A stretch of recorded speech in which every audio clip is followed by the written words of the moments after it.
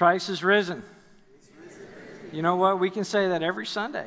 We can say that every day. Every day is Resurrection Sunday in the life of a believer, and every service is Resurrection Sunday service when it comes to the church. It's so good to see you again, to be back with you today. If you're joining us for the first time, I know that we have at least one visitor. I just want to uh, explain briefly. We're going through a series called Believe. Uh, it's based upon Randy Frazee's book called uh, Believe. It's really creative.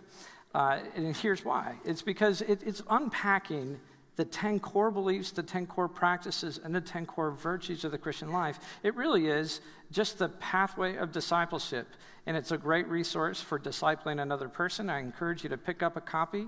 And we've been going through this series now for several weeks. We're actually coming in towards uh, the, the, the runway here, about to land this plane after many weeks of, of going through this series. Where we are today is that we're looking at the virtues of Christ, the virtues of the Christian life, and we're actually tackling two virtues today goodness and kindness.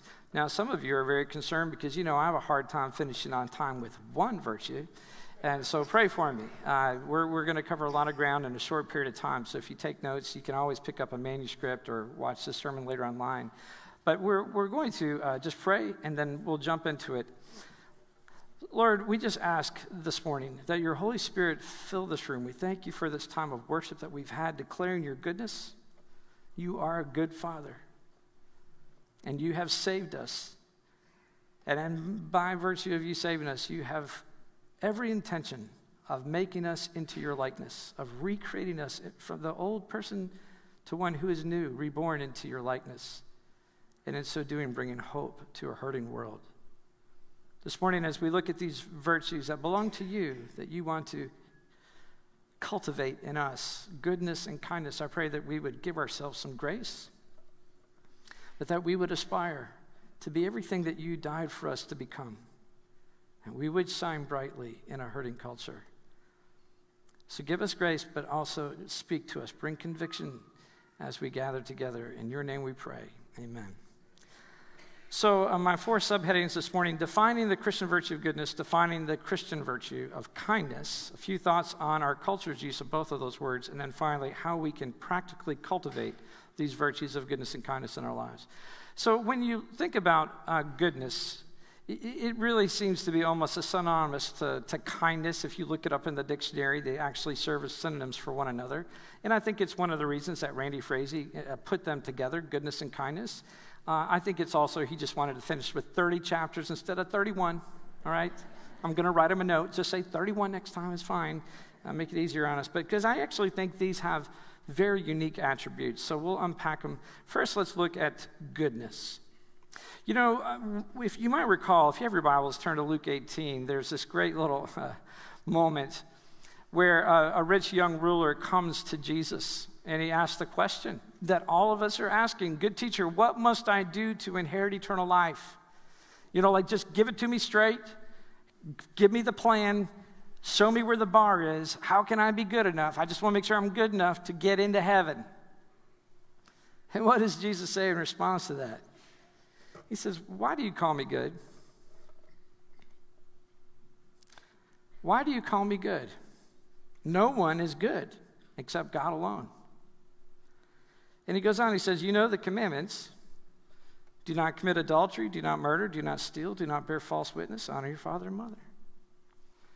Now, in this response, Jesus reveals a great deal about what goodness is, the ultimate sense of goodness. First, he makes it very clear what goodness is not.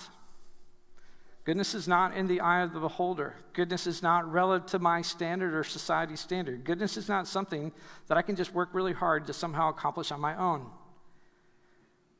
Goodness is that which God defines in His Word. That's why He quotes the law to him. And then God exhibits in His own character.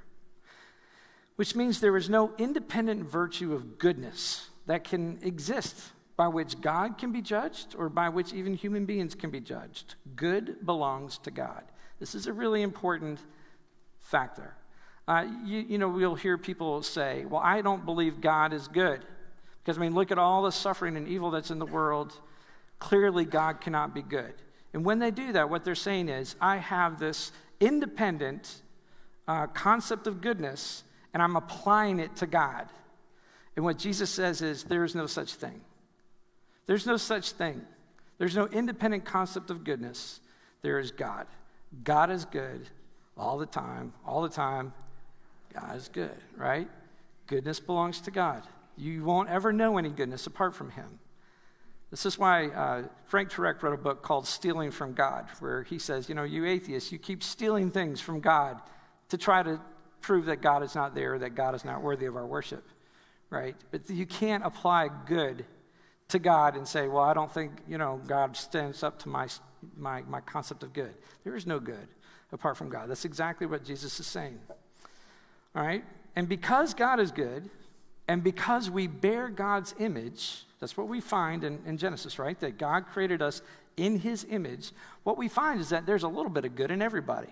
How many of you know there's a little bit of good in everybody? Even your kids. I mean, that's true. Uh, there's good in everybody. Even the person that irritates you the most, the most terrible enemy against Christianity, uh, wherever, the worst dictator in the world, there's good in everybody. And so we always say, well, you know, everyone's generally good. But that's not what I'm saying. But there is some good in all of us because we bear God's image. That's why we're moral creatures, right? But Jesus makes it clear. According to biblical worldview, there's no such thing as a good person in the natural state. Which is why we don't believe, like every other religion in the world does, that good people go to heaven. There, that, that's an impossible concept within a Christian worldview. That's why Jesus immediately stops the man right there and says, Why do you call me good? Jesus actually qualified as good, but he's trying to make a point. And you know what the young man does? He says, I've done all these things my whole life. I'm good. He missed the point completely, which is why Jesus says, Yeah, just one more thing. Just go sell everything you have, give to the poor, and then follow me and he, he just reveals his idolatrous heart. So, this is really an important concept. I want you to really start where it begins, and that is God is good. Goodness belongs to God. We're not good. There's good in us, but we'll never be good enough. And so, the virtue of goodness is not something that we just try very, very hard to accomplish. It begins when we are saved. It begins when we admit our lack of goodness, we surrender to Christ, we're saved by grace the old man is dead and the new man is born. This is why Jesus says you must be born again. This new reality of one who is saved begins to grow and develop and cultivate the virtue of goodness because it's the I, but not I. I have been crucified in Christ, says Paul, but it's no longer I who live, but Christ who lives in me. That is the source of our goodness. It is the imprint of the character of God that now begins to be revealed and cultivated in our lives. So, this just how I wrote it, when Christ lives in us, as our thinking and our habits are conformed to his, we will not only do good, but over time we will exhibit the virtue of goodness, which is to say that our speech and conduct will more and more reflect God's character. I believe this is really the essence of Christian goodness. So, what does that look like? You know exactly what it looks like. If you've ever read the four Gospels, you will know exactly what the virtue of goodness looks like. It looks like Jesus constantly everything Jesus said and did was good. It, it, it, was constantly consistent and revealed the very character of God. So if we're Jesus followers, if we're being redeemed and sanctified by Christ in us, these very virtues of the character of God will, over time, become our virtues. Will become the way that we think, the way we talk, the way we treat people, what we do, right? So, uh, turn again to Matthew 12. This is another great little story that reveals some elements of goodness. Uh, Jesus had just, just cast out a demon from this poor guy who, who had been struggling with a demon for years. And his opponents, the Pharisees and the scribes, say, Yeah, but I think he cast out that demon by invoking the prince of demons, Beelzebub. That is not a good thing to say to Jesus. All right, that, that did not go over well with him. Uh, he gets a little fired up in his response, but in his response, he once again gives us a, a, an insight into this concept of goodness. Here's what he says in verse 33 Either make the tree good and its fruit good, or make the tree bad and its fruit bad, for the tree is known by its fruit. You brood of vipers, how can you speak good when you are evil? For out of the abundance of the heart, the mouth speaks. The good person out of his good treasure brings forth good, and the evil person out of his evil treasure brings forth evil. I tell you, on the day of judgment, people will give account for every careless word they speak. And for by your words you will be justified, and by your words you will be condemned. That's a very powerful, very strong response. They deserved it. But it is something that we need to look into quite quite seriously. Here, here's what he just said He equates the goodness, this virtue of goodness, is the fruit of a good tree. If the tree is good in its core, then its goodness will become evident in the produce thereof, right? And what it produces. If the tree is bad, its fruit will inevitably betray that reality as well. You can't hide it, it'll be obvious. So the virtue of goodness is an overflow of who we are and who we're, we're becoming. Goodness will lead to good works. As we practice good works, our goodness will increase, but ultimately, the virtue of goodness is an overflow of what's happening within us. Now, note also that Jesus measures goodness. Goodness will be revealed in what comes out of our mouths. I mean, this is very daunting, isn't it? For out of the abundance of the heart, the mouth speaks. On the day of judgment, people will give an account for every careless word they speak. For by your words you will be justified, by your words you will be condemned. Words matter. They matter a lot. Proverbs 12 18 reads, There is one whose rash words are like sword thrusts, but the words of the wise bring healing. Make no mistake, this huge number of suicides that are happening in our country, oftentimes amongst middle school students, which has increased 30 percent yeah, you ever heard eighth grade girls talk to each other, talk about each other, right? Words matter. Words can be very, very destructive. They're like sword thrusts. This is still true, and it's even more true now as we carelessly throw words out there in social media and so on. Uh, it's a big deal. James 3 writes that the tongue is a fire a world of unrighteousness, setting on fire the entire course of life and set on fire by hell. No human being can tame the tongue. It is a restless evil full of deadly poison. How many of you know that's true? It's a big deal. And he deals with the tension that we find within the church. He says, With our tongues, we bless our Lord and Father, and with it, we curse people who are made in the likeness of God. From the same mouth come blessing and cursing. My brothers, these things ought not to be. Does a spring pour forth from the same opening both fresh and salt water? Can a fig tree bear olives or a grapevine produce figs? This is a big deal. Clearly, goodness can and will always be revealed by our words. If we're growing in the virtue of goodness, it will be evident what we say and what we don't say. If the virtue of goodness is is growing in us, our words will more and more reflect the character of God. But if your words don't reflect the character of God, if they misrepresent the character of God, then we must question the progress of the virtue of goodness in us. It, it will be revealed in what we say. That's a very important point, and Jesus makes it strongly. Now, our goodness will also be apparent by what we do or what we don't do right? Matthew 23, turn your Bibles, Matthew 23, once again, he's kind of in it with uh, the scribes and the Pharisees. And he uh, says in, in verse 2 The scribes and the Pharisees sit on the seat of Moses, and so do and observe whatever they tell you, but not the works that they do. For they preach, but do not practice. They tie up heavy burdens hard to bear and lay them on people's shoulders, but they themselves are not willing to move them with their finger. They do all their deeds to be seen by others. Lord, have mercy that He would never say that about any of us or any pastor or Christian leader, but hey, let's just be honest. There are many religious people who are very gifted with words. They can give all the right answers, and they do nothing. Or whatever they do, they make sure that you see it so that you can applaud them and give them a pat on the back and, and just tell them how great they are. Jesus says, don't, don't, even, don't even go there. Don't follow those people. Yeah, you can, you can honor their teaching. The teaching's good. Go do what the Bible says, but don't do what they do. Don't live like that. I am sorry to say I've seen this my whole life. Um, sometimes I see it in myself. You know, we, you, you find people who are so eloquent in calling people to reach the lost, but then they do nothing to reach the lost. They cast vision that somebody should help the poor, but not them. They believe somebody should be out there fighting injustice, but they do nothing to fight injustice. So many religious people know the Bible inside and out, and yet they do nothing. These are the very same religious people who reinforce the stereotype of Christian hypocrites that drives away the next generation from the church. Trust me, if you are doing nothing good, there is no virtue of goodness in you.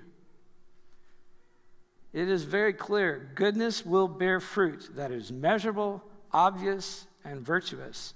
So, church, take a moment, inventory your life. Think about the way that you spend your time, your money, and your very best energy. Think about last week or last month, last year. Would a casual observer be able to see within you the goodness of God? Would they see his character in what you're doing, in what you've done, in what you've sacrificed, and how you've lived your life? Now, even more than a list of good deeds that we might mount up and accomplish, this virtue of goodness is also indicated by the absence of evil in our motives, speech, and actions. Remember, evil, when it comes to our behavior, is really it's a parasite. Evil attaches itself onto something good and corrupts it trying to make it either an ultimate thing or, or corrupts it into something that gives us great pride and so on. If you've not read Screwtape Letters, you really need to by C.S. Lewis because that's what the whole book is about. But if the parasite of evil is being removed from our lives through the grace of Jesus Christ, then what should remain is more and more goodness, and that goodness is unhindered and it will bear fruit. This is what Paul is saying to the church in Colossae. He's writing to a bunch of pagans who have become believers, they're new believers. He's writing to them in Colossians 3. He says, If then you have been raised with Christ, set your minds on things that are above, not on things that are on earth, for you have died. You hear that language? You've died. The old you is dead and your life is hidden now with Christ in God. Therefore, put to death what is earthly in you sexual immorality, impurity, passion, evil desire, and covetousness. Covetous, say that three times really fast. Covetousness, which is idolatry. Put them all away anger, wrath, malice, slander, and obscene talk from your mouths. Do not lie to one another seeing that you've put off the old self with its practices and put on the new self, which is being renewed in knowledge after the image of its creator. Do you hear that language? So, the virtue of goodness is not just the good deeds that we do, it's putting to death the intentional evil, this, this accommodation of evil in our lives that most of us, unless somebody points it out to you, you don't really even realize that you're doing it. But we do. I mean, I want you to think about what you read, what you listen to, what you watch, what you feed your mind on a regular basis. Most of us knowingly, intentionally accommodate evil into our, into our minds and even into our hearts. I want you to think about the, what you rehearse in your mind for people who have hurt you, how you wish they were dead, how you wish you could get back at them, how, what you would do one day if you had a chance to really tell your boss what you think of him. These things that we rehearse in our minds, we accommodate evil intentionally, we give it a space. And Paul says, No, no, no. You are a new person. Your identity is in Christ. You have been saved. You have been forgiven when you didn't deserve it. So now put those things to death. That's an action item. It, it requires a degree of effort, but over time, your goodness will be increased because there's less evil. There's just less evil attached to your life, right? So when I think about those in our church, there are many people in our church who have this virtue of goodness. You know, my observation would be that they just simply lack a lot of the normal evil that we take for granted in people the, the normal selfishness, the normal kind of resentment, uh, the, the, the normal. Uh, unwillingness to celebrate other people's gifts because it makes you insecure. Like, I mean, this is the, the virtue of goodness. There's some evil that's just lacking in their lives. And so when you're with them, uh, they, they're curiously optimistic people. Uh, they're not in a rush. They're quick to listen, slow to speak. They ask very good questions. And then they listen so attentively that you're led to believe that the answer that you're about to give is going to answer the most meaningful question that they've been wrestling with for weeks. You ever be with people like that? How are you? Right? I mean, they, they really want to know. What do you think about this? And, and so on. These people uh, who bear this virtue of goodness, they, they have very few secrets, no hidden agendas. They always seem quite content with what they have. Their words are seasoned with grace. They tend to have a deep sense of joy, and they are truthful, sometimes to a degree that makes you uncomfortable. Those who demonstrate this virtue of goodness are those who serve. They think nothing of it, they, that's just their life. They sacrifice, they give generously, they constantly consider the needs of others before themselves, and they're fine if you never find out anything that they're doing. They have no no motivation to tell you. That, that you kind of have to pull it out of them. They just don't brag about their goodness because they're not being good to be acknowledged. They're being good because it's becoming their nature to be good, to do what is right, because they're living their life like Jesus would live their life if he lived their story. I was doing a funeral yesterday for a, a man, an elderly man in our church. He passed away recently, John. Uh, John Huey's good, good man. And uh, his family chose to do a very small, very private uh, graveside service. So we had time to just sit around in the chairs and talk about him. And from the grandchildren to the daughters and so on, the sons in laws, they were just sharing about his goodness they went on. They just, uh, they, he was generous, he was wise, selfless, helpful, always thinking about the needs of others. He was such a good man. He made decisions for his family and those uh, where he worked because it was the right thing to do no matter the cost.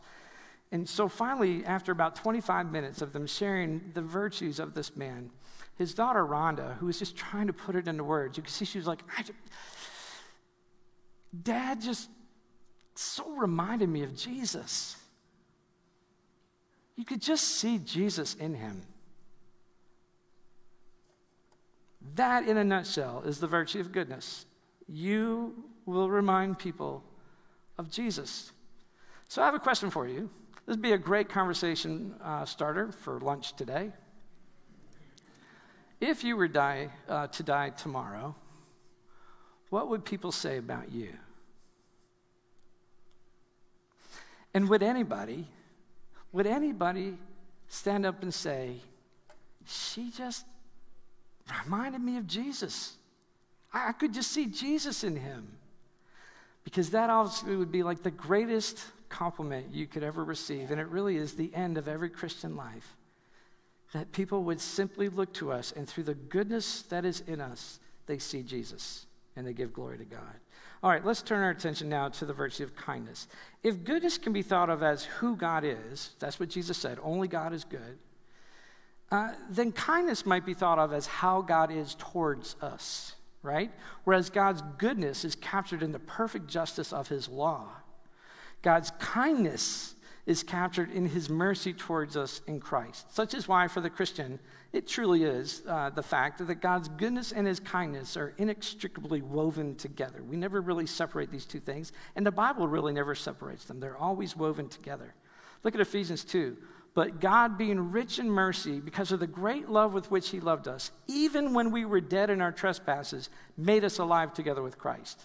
By grace you have been saved, and raised us up with him and seated us with him in the heavenly places in Christ Jesus, so that in the coming ages he might show the immeasurable riches of his grace and kindness toward us in Christ Jesus.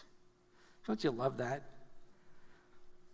You know, God could have turned his face and justifiably abandoned us. He could have allowed us to remain separated from him as, as spiritual orphans, but he chose to adopt us he chose to bring us into his family at the expense of his only natural born son, Jesus of Nazareth, right? Jesus said, uh, I will not leave you as orphans, I will come to you. That's kindness.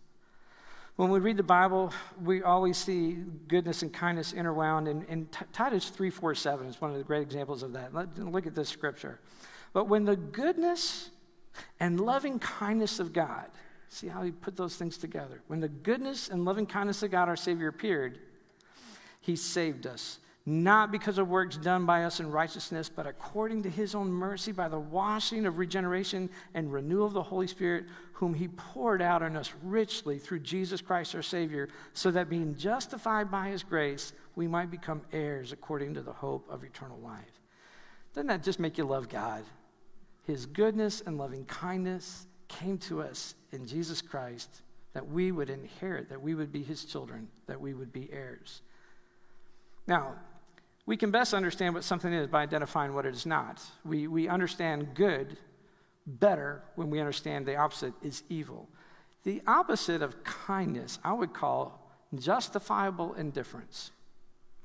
The opposite of kindness, I, I, didn't even read this anywhere, so I may be wrong, but I'm just saying this is the way it looks to me, is justifiable indifference. Let's just take a very practical example on a human level, something most of us can relate with. Let's just say that it's trash day in your neighborhood. How many of you know that's like the greatest day of the week, right? I mean, there's just something purging about trash day. And uh, so you, are getting up for work. It's early in the morning. You're walking out there to get in your car to go to work. Uh, you got your nice clothes on. You got a meeting you got to get to. And you realize as you walk out that last night was very windy, and the neighbors that live next to you, you know, they're the neighbors who their trash is so high that they can't even close the lid. They, they may be called the West family. Uh, that, that this family, uh, their trash can got blown over in that little gust that came last night, and now there is trash all over the street, all over your yard. And these particular neighbors, you really don't like them a lot. I mean, they can be very rude. And so now you're left with a decision, right? You have this justifiable indifference, which is to say, that's not my problem. It's not my trash. They should have known better. They should have figured out how to strap that lid on there. They should have propped it up or something. I mean, it's not my job to clean up their trash. I'm late for work. I got my nice clothes on. I am justifiably indifferent to this situation. But Christian kindness will say, yeah, they don't deserve. They don't deserve me picking up their trash. There's nothing deserving about that, and they probably won't even appreciate it.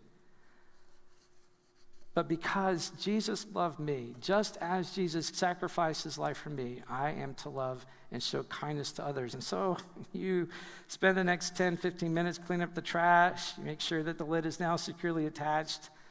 And as you drive off, you realize that your neighbors will likely never know what you did. And your Christian virtue of goodness and kindness demands that you don't tell them what you did because then they would be in your debt. And the virtue of Christian kindness and goodness can never leave people in your debt.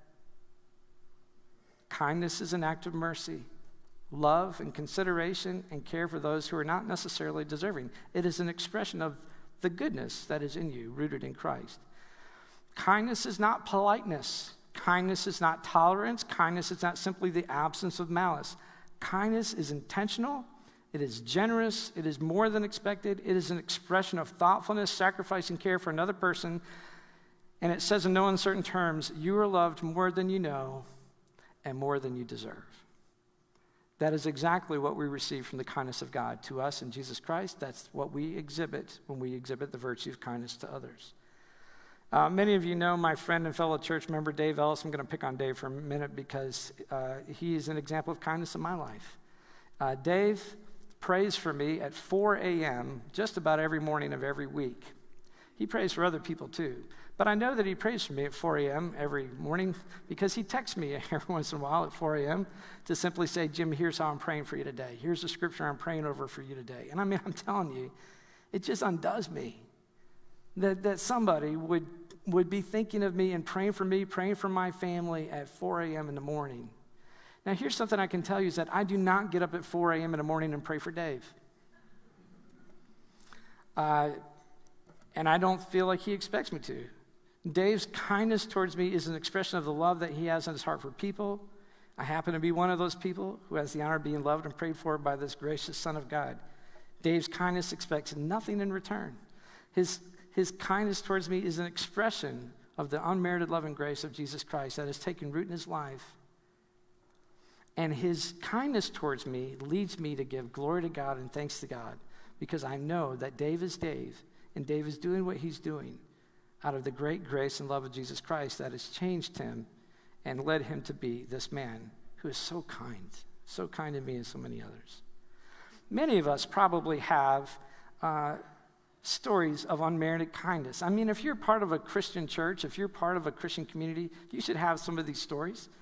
You know, those times when people showed up with a meal or a visit, there was maybe an anonymous check when, when your financial needs were discovered. Perhaps, you know, somebody shoveled your driveway or mowed your yard when you couldn't get out and do it.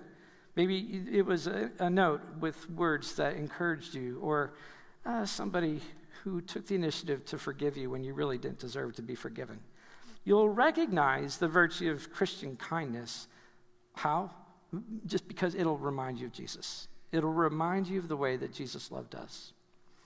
That's the picture of Christian kindness. Now, let's quickly consider the cultural confusion about goodness and kindness uh, in the world in which we live. You know, there was a time uh, in Christian uh, America, if you will, uh, maybe over 100 years ago, but there was a French philosopher who came and said, The genius of America is its goodness. And if it ever loses its goodness, it will lose its genius. It will lose what is unique and special about this country. There was such a strong commitment towards goodness. And, uh, you know, I mean, it got twisted, and people could be very moralistic and very, you know, but in its heart, goodness was a very high value for our country. But what, as I was reflecting upon it uh, this week, I was just when was the last time I actually heard this value of goodness being promoted in our country? It's really kind of a lost thing. And one of the reasons is because goodness appeals to uh, a standard by which we can determine good and evil, right and wrong. This kind of absolute standard. And our country has become very averse to any such objective standard. So goodness has become a very watered down, relativistic, you know, what's good for me not, might not be good for you. Let's just all do our own good, our own personal good. It's very watered down, very relativistic. But what you find also uh, with this virtue of goodness is that we kind of default back into uh, where most of the world is, and that is that we should really be more good than we are bad. That's a very hard thing to understand how we're doing, right? Because good is so wishy washy, we really don't know what good is anymore. Uh, everyone can kind of make up their own good. This is why now people just say, well, I'm just being true to myself, as though somehow that accomplishes goodness, right? Because you're, you're now the standard, you're the judge and jury of your own goodness. So without God, there really is no good. Our cultural religion, that is now supported by our state, is called secular humanism. That's all in our courts and schools and so on. And within the language of secular humanism, they literally say, We will achieve good without God. You won't. you won't really even be able to know how to talk about it. And so we don't. Our culture really doesn't talk about goodness very much anymore. However, kindness. Kindness is a virtue that our culture embraces and promotes. Kindness, I guarantee you, is in the mission statement or in the values of every local elementary school and all of our schools. Uh, they're actually very much trying to teach kindness as some version of inclusion and tolerance and so on. Kindness is a huge deal in our culture. You hear about it all the time. And it's not because we're good at it, it's because we so desperately need it. You know, our culture has never been so fractured and hostile as it is right now, and so consequent. Well, maybe the Civil War. That was pretty fractured and hostile. Uh, but, but generally speaking, uh, we're begging for kindness. We're begging for kindness. We're begging for this, this lack of enmity and anger and hostility. And so, this cultural uh, emphasis on kindness is very, very common now. The question that I have is can kindness exist without goodness? Can kindness exist without goodness? And what I would say is, I think kindness is compromised without goodness. Kindness without goodness is niceness. How many of you know the difference between niceness and kindness, right? Niceness is I'm going to smile, I'm going to be courteous and polite and nice to you, but I don't really care for you, right? I, I, it's really about my behavior and the way that I'm just presenting myself in our conversation, in the meeting that we're in. But there's really no kindness because kindness is rooted in goodness and genuine love and concern for another person. Niceness is quite superficial and conflict avoidant. Kindness will actually go further than niceness because it's willing to risk offense. It's willing to do what is right and good, even at personal expense and even at risking offense to another person. So that kind of kindness uh, goes much deeper than niceness. Now, this is why I just want to say authentic Jesus followers are desperately needed in our culture. The Christian should be the person in the room, in the school, in the workplace, in your neighborhood who best exemplifies and models the beautiful marriage of goodness and kindness. Why? Because our goodness is rooted in the character of God, and our kindness is rooted in the mercy of Jesus on a cross. And people should see that in us, both goodness and kindness, constantly lifted up, shining like a light in the darkness of a hurting culture that's very confused about goodness and really has kind of just resigned itself to niceness but lacks genuine kindness. If we call ourselves followers of Jesus, we call ourselves the church, and yet we fail to show people both goodness and kindness. If we all talk about goodness and morality and we lack kindness, if we all kind of fall into the kindness of our culture that lacks any semblance of goodness, then we misrepresent the God that we say that we believe in. And it does great damage to our witness. If you are just listening to this message and you're like, man, I really stink in the virtues of goodness and kindness, I am a Christian, I believe in God, I believe in Jesus, but so here's this is where we always come back to then we need to start practicing some different things. So let's just close by looking at how do we cultivate these virtues of goodness and kindness as christians in our lives well, uh, always remember, I mean, the, the, development of Christian virtue always begins with our conversion, with our admitting our sin, receiving Jesus as our Lord and Savior, and asking the Holy Spirit to come and take residence and mastery of our life. We can't do this without Him.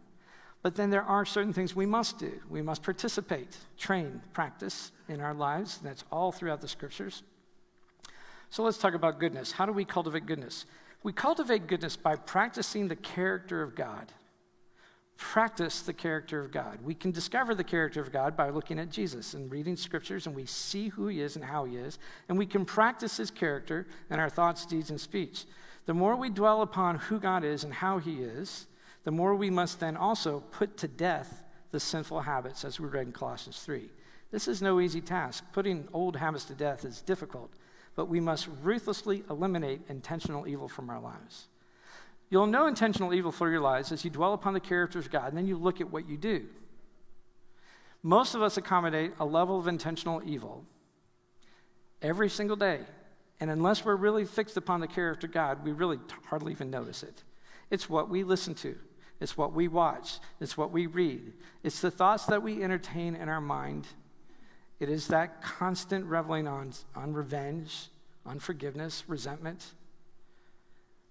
We intentionally do these things. We have intentional evil in our lives. Think about the intentional evil we put into our body, right? I mean, if we're getting drunk, if we're getting stoned, if we're doing things that, that compromise the, the temple of God, our sexual habits, there's just things that we do that are, are cultivating evil in our lives are quite intentional. We may try to you know, tip the scales towards good by doing some good deeds, but we're accommodating a lot of evil in our lives. We'll never really develop the virtue of goodness if we continue to accommodate intentional evil in our lives. That's why Paul says, put it to death, put it to death. Cultivate goodness by ruthlessly eliminating the infusion of evil into our bodies, hearts, and minds. Paul writes in Philippians 4 whatever is true, whatever is honorable, whatever is just, whatever is pure, whatever is commendable, if there's any excellence, if there's anything worthy of praise, think about these things. Practice these things, and the God of peace will be with you. So, what we think and what we practice trains us towards goodness or it trains us towards evil. So, that, that's just very practical. We must be intentional about practicing what is good. You know, most of us think uh, over time I'll just magically somehow become good you, you actually need to start practicing some good, right? This is where you'll be amazed. Uh, C.S. Lewis writes about this a lot in Mere Christianity. You'll feel loving towards somebody if you'll just begin acting loving towards them. If you act hostile towards them, you'll increasingly feel hostile towards them, right? So our feelings actually follow our behavior. And so uh, we just make a commitment to start acting in a way that is good. We make a commitment to serve uh, we're, we're going to go show up at schools on Tuesdays and read with second graders who are struggling to get to a, you know, a, a high left reading level. Uh, we have dozens of people who just practice goodness by going into schools and mentoring kids. We practice goodness by volunteering to serve in the church and ministries. We volunteer uh, to give up something that's very meaningful to us. We give up our money, we give up something valuable to help people who are in great need. Probably for most of us, the most valuable thing we could give up is our time. But we make a commitment and we begin to practice goodness. And as you practice goodness, you will become more good. You'll, it'll become more normal for you to have this kind of goodness in your life. You know, Jesus said this very clearly in Matthew 7 24, 25. Here's what he said He says, Therefore, everyone who hears these words of mine and puts them into practice is like a wise man who built his house on the rock. The rain came down, the streams rose, the winds blew and beat against that house, yet it did not fall because it had its foundation on the rock. This foundation on the rock is not built upon what you believe, it is built upon what you practice. Okay? So if the virtues of goodness and kindness are lacking in your life, it's because you're not practicing what Jesus said. This is a very simple prescription. Go and read what he said, spend time in the Gospels, and then practice what he said. Practice turning the other cheek. Practice pray for your enemy. Practice forgiveness for those who have hurt you. Practice what he said, and you will be building this foundation on the rock. And that will be just a stream of goodness that will bear fruit in your life. But we must practice, right? Now, let's talk about kindness. How do we cultivate kindness? We cultivate kindness by treating people the way that Jesus treated us. Here's what he said in John 13 34 Just as I have loved you, so you also are to love one another. I love these two words, just as. I heard an African American pastor one time at a conference give an entire message on just as. It was one of the best messages I ever heard, and I've never forgotten it. This is often said in scriptures just as, just as I have loved you, so you should love others. Just as I have forgiven you, so you should forgive others. Just as I have served you, you should serve others. Jesus is constantly saying this. If you really want to cultivate the virtue of kindness in your life, continue to apply these two words to every situation, to every day, just as. And if you don't know how God loved you and how Jesus served you and how he sacrificed for you and how he forgave you, once again, meditate upon the Gospels. But this will be our training ground. How are you responding to this person? How are you responding to the situation? What, what are you doing with this opportunity to bless and show kindness? Begin with those two words just as.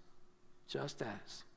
Church, let me tell you something. The world desperately needs Jesus followers to rise up in families, in communities, in schools with these virtues of goodness and kindness. Goodness and kindness will be beautifully received, even if if the message behind it is not. The world is desperately longing for goodness and kindness. It is what Jesus saved you to be, it is what you can become. But it is part of the life of the disciple to go through this metamorphosis through what we believe to be true, what we practice, and eventually the virtues of Christ in us. May it be true, instead of each person here, when we are gone, ah, they just reminded me so much of Jesus. Amen? Let's pray. Lord, we thank you so much that you modeled for us and you showed us in very tangible and practical ways what we are to become. We are to become little Christs who think like you, who practice like you, and who bear your virtues. And not for our glory, but for yours. Even when it comes at our own expense, that we might bring peace and blessing and hope and healing to our hurting culture. So I pray, Father, that you would give us a very clear picture of where to start. That we would know that ultimately the greatest good would be that people would remember that we reminded them of Jesus, that they saw Christ in us. Lord, many of us are struggling with the evil that is in our lives that has taken root, that seems almost impossible to overcome. We pray for the freedom that comes through the power of your Holy Spirit, that you would prompt us, that we would begin to take just even small steps to practice what you taught us, that we would have this foundation built upon a rock that would withstand the storms of life, that would endure over time, that would leave a lasting legacy of hope for those that you've put us on earth to influence. May this church rise up to be the light of Christ in a hurting culture, bearing the virtues of goodness and kindness. And we pray this in Jesus' name. Amen.